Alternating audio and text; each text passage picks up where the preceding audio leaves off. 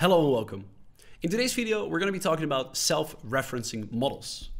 Models that basically refer to themselves in order to set up a structure which allows you to, well, reuse uh, connections and reuse a certain structure. The best idea that I can give you behind this is imagine the folder structure on your computer. If you go to your computer settings uh, somewhere, you have a folder filled with all these kinds of uh, pictures of your last holiday, for example. But within that folder of pictures of your last holiday, you can set up another folder and you can put like all kinds of pictures in there and even more documents. And within that folder, you can put another folder. So basically ordering folders within folders. What we are going to be doing is we're going to set up a uh, system in which we can comment underneath our project management applications projects. But beneath those comments, I would also like to place a little comment to reply to the person posting that comment. So we're going to be setting up comments and a self-referencing model. So let's get building. So first things first, we're going to be adding the comment model to our data model overview, of course. So to our model overview, add a new model, and this is going to be called comment. Within our comment model, I would like to have the property called message of the type multi-line because I would like, oh, message, because I would like to uh, have someone, when they're commenting, be allowed to use more than just one sentence of text to explain what they're feeling or thinking. That's important. And I'm also making sure that it is required. That way, uh, people cannot just send empty messages. That's a bit meaningless and dull. So allow them to fill in something proper. So once we've created the comment model, we're going to our schema model overview and we're going to be connecting the project and comment together. So here we go. I'm going to drag the relation from project to model. And now I can say that one project can have many comments. If you've dragged it the other way around, it will look something like belongs to. So uh, many comments belong to one project. But as long as you try to have the one side on project and multiple side of the relation, the, the multi side of the relation to comment, because that's what we want. One comment or one project can have multiple comments. Now we can dive into our project detail page. So within our project detail page, um, I was thinking let's have the comment section at the bottom of the page that is where we currently have a send status email and a project PDF uh, button. Uh, I've created this in a previous video. Uh, I'm going to drag this upward because I feel like that is where it deserves to be.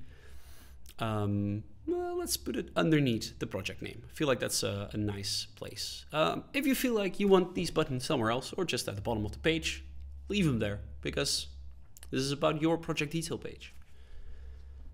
What I'm going to do is I'm going to go to my component set, I'm going two grab the to column and I'm going to put that underneath my task overview.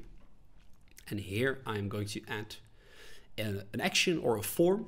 I want to say a form in which we can add the comments and on the right hand side I'm going to add a data list in which we can view all the comments. So let's dive into our create form.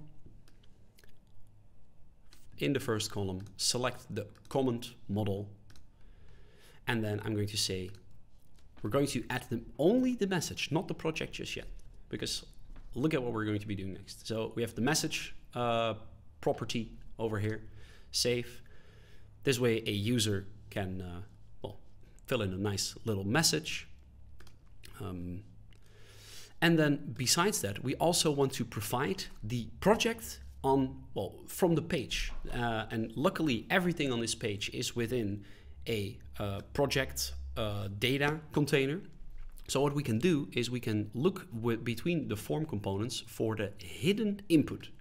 And what we're going to be doing is secretly adding the project ID once we are passing through a comment, because that way uh, in our comment overview, we will only be showing comments from this specific project. Otherwise, we will be showing comments from all kinds of projects. And let me tell you, that probably would end up being a very big mess. so uh, we got this going on, we got this going on. Uh, then let's dive into the action because uh, I've selected the entire create form. Gonna click on the pencil for the action. First things first, always remember to change the name of the action and permissions to do what you want it to do.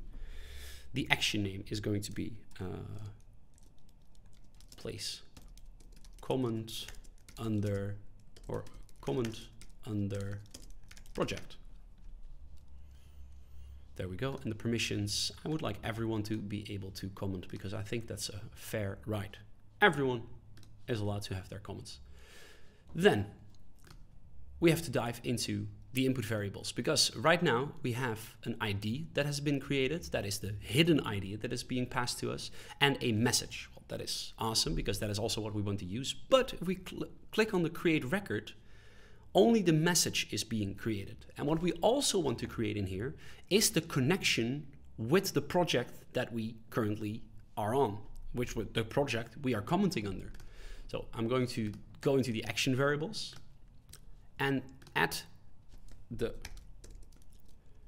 project, or let's call it the existing project from the project model. And we are going to filter the project ID on the idea that we are passing via the hidden input.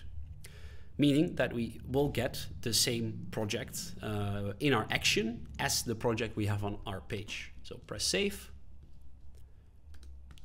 close, and now within the create record, cre create a comment, it actually is the create record step in which we are creating a comment. We are already creating a message, but right now we are also going to be combining the message to the project we are commenting on. So press save. And once the action has been compiled, the action is ready to use. So let's dive back into our page. So that's the first thing. Now the second thing I want to do is I want to show a list of wonderful comments. So I'm going to do that using the data list option. So here we have uh, a data list and this data list I am going to use to show comments.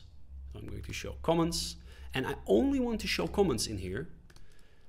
So on from which the project ID equals the ID from the project on the page. So again, it's a lot of uh, filtering. It's a lot of uh, making sure that everything regarding the IDs is equal. If I would have project number one, but I would show the comments from project number two, again, it would turn into a big mess. So right now we want to make sure that the project from within our database is equal to the project on our page. So we're going to grab the ID from the project on our page and the one within our database. Apply, save, and now the only thing we have to do is make sure that within this data list, we're also displaying it a little bit nice. So I was thinking of using the paper component. So here we have the paper component. Let me select the data list and we're going to be going for the grid type or the inline type. Let's have a look and see what's what's better. For using 100% max width, there we go. This is this is the this is what I would like. So we have columns um, and the data list. I'm making sure that the type is grid with a max width of 100%. We are using the entire width of the column above it.